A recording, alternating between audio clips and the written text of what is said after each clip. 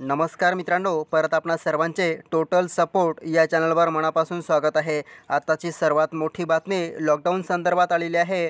बघा लॉकडाऊन संदर्भात आज परत मुख्यमंत्र्यांनी नवीन निर्णय घेतलेला आहे. आजचा हा दुसरा निर्णय काल लॉकडाऊन वाढवण्याबाबत निर्णय घेण्यात आला होता. परंतु आज कशा प्रकारचा हा बदल करण्यात आलेला आहे याविषयी आपण सविस्तर माहिती या व्हिडिओमध्ये जाणून घेऊया.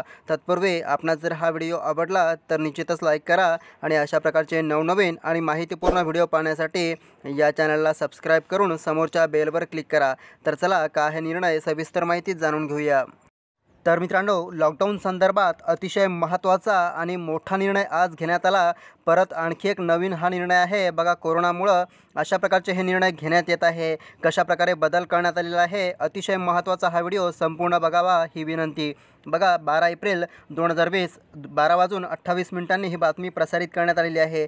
कोरोना व्हायरसचा वाढता संसर्ग पाहता देशातील लॉकडाऊन वाढवण्याचा निर्णय केला जात आहे. यापूर्वीच महाराष्ट्र राज्यात लॉकडाऊनचा कालावधी वाढवण्यात आला होता. मुख्यमंत्री उद्धव ठाकरे यांच्या सरकारने हा निर्णय घेतला असून तीस एप्रिलपर्यंत लॉकडाऊन असणार आहे. त्यानंतर आता राज्य सरकारने कोरोनाच्या पार्श्वभूमीवर आणखी एक महत्त्वाचा निर्णय घेतला आहे. कोरोनाचा प्रादुर्भाव टाळण्यासाठी राज्याची विभागणी ही तीन झोनमध्ये करण्यात आलेली आहे. तर बघा आता तुमचा स्वतःचा जिल्हा कशा प्रकारे कोणत्या झोनमध्ये असणार आहे? महाराष्ट्र सरकारने राज्यातील जिल्ह्यांची विभागणी ही रेड ऑरेंज आणि ग्रीन या झोनमध्ये केली आहे. त्यानुसार मुंबई पुणे ठाणे पालघर रायगड नागपूर औरंगाबाद सांगलीचा समावेश हा रेड झोनमध्ये करण्यात आला आहे.